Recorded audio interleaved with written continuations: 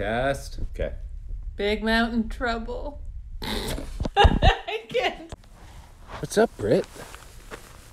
What's up, Bandit? Oh, yeah.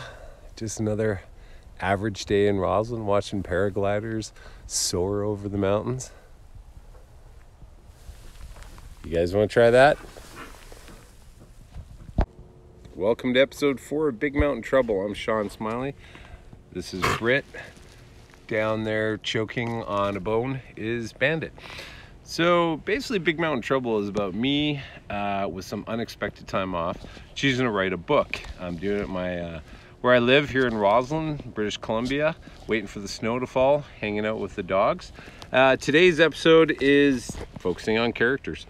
So, working in the game industry, I had a chance to work with a lot of great concept artists, animators, modelers. I learned a lot about what their needs were, which was when I would create a character, they would ask me all these questions about backstory. So what I did was I created a template called the DNA, and I'll show that later in the video.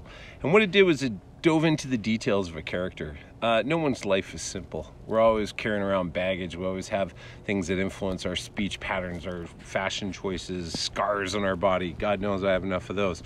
So what I want to do is dive into all that stuff and allow the animators, concept artists, modelers to pick and choose from that character's life the, the elements they would use. So now when I'm writing Slice, I have quite a large cast of characters. Uh, the reason it's a large cast is a lot of people die in this book. There's quite a few big epic moments of conflict with dragons, Nazis, uh, weird goblins, creatures, the War King, uh, all sorts of stuff you'll hear about soon. So what I ended up doing was creating quite a big cast, but my main focus has been on the two key characters, Saga, who's a female special forces soldier, and Heath, uh, a civilian. He's a mountain guide. And what I love about writing is when you get to do research. In fact, I love it so much that it, it's sometimes derails me. But the research on these two characters was a blast. Uh, I was in the military. Uh, so I know a fair amount about process and gear and all that, but she's a special forces soldier, so I got to dive really deep into the gear and the, the, the history and all that stuff. It was fantastic. For Heath, well, I live in the mountains and I'm an avid skier, mountain biker, snowboarder, all that. So I talked to a couple of mountain guides, learned out some interesting things about uh, people they know, uh, personality traits and all that. Um, that you know I found really fascinating, and I've put that into my characters. I like to base my characters off real people, but just on a surface level, and then uh, I definitely make them into my own. So I'm curious about other people's process. Uh, I'll show later in the video my sort of DNA templates worked for me for years, full of reference images and backstories and stuff like that. But curious what other people's process are and anything they want to share. Uh, yeah, thanks a lot. Okay, so here's a quick example of some DNA templates. Just ignore the ski boot off to the side there. So the first one is uh, from a story connected to Slice, actually called Montana's Marauders. It's a World War II story.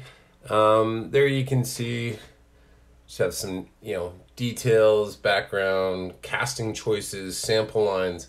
We move to the reference images couple up closers, Ralph Fiennes and Tom Hiddleston. Takes place in the desert, World War II. I used to read that comic as a kid, Commando. These are more themed targets, just trying to capture the uh, personality. Then we move over here. We have this from this crazy fantasy story thing I wrote called The Legend of Ty. This is Fortana Castilla de Vigo. This one has more of a backstory to it. Um, and then we get into all the character references. The references are really for me in these occasions, but you know, a close up of the gear this character wears, the spurs on the boots, the the sort of influences, the the henna and tattoos and stuff like that, right down to her war horse and everything like that. But I always kind of start off the same with bullet points, um, get into a backstory, move into reference images. It just, you know, I like to reference and think when I look at characters and kind of come up with an idea. Thanks.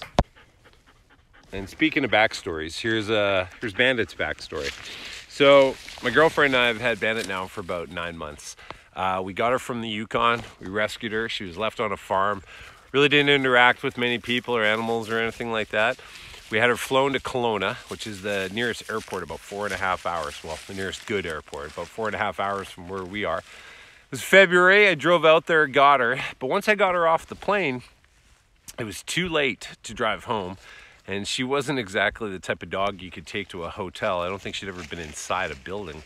So I know the area pretty well out there, and about 10 o'clock at night, I found a Forest Service Road, drove down a couple of kilometers, found a clearing, and me and Bandit set up camp. And she's used to sleeping in minus 40 uh, weather, and it was only minus 25. So we spent the night sleeping out in the snow. I was about 15 feet away from her. She wouldn't come near me. She was really wigged out.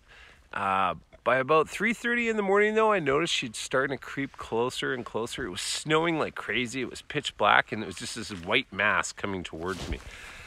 Eventually at about 4.35 in the morning, she was sleeping next to me. I got up and I started to make coffee on a little stove and stuff.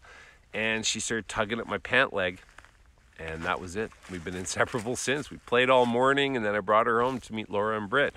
Now, the thing about Bandit is she lived on this farm all by herself, I think. Uh, no other dogs or animals or anything like that, way out in the middle of nowhere. Then we bring her into town where she sleeps on a couch, she has toys, dog bed.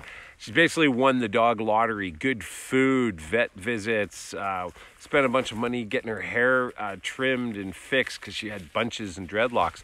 All of a sudden, she went from country dog to not quite city dog, but mountain dog. Uh, she's living in a town where kids stop on their way to school to pet her every day, and she's got this kind of great world to explore. Her backstory abandoned on a farm. Her new story living in a, a happy, happy little household. So that's her backstory. What can you do with your characters? Bandit, where'd you find that bone? Where'd you find that? Was Timmy in a well? Did you find Timmy in the well and eat him?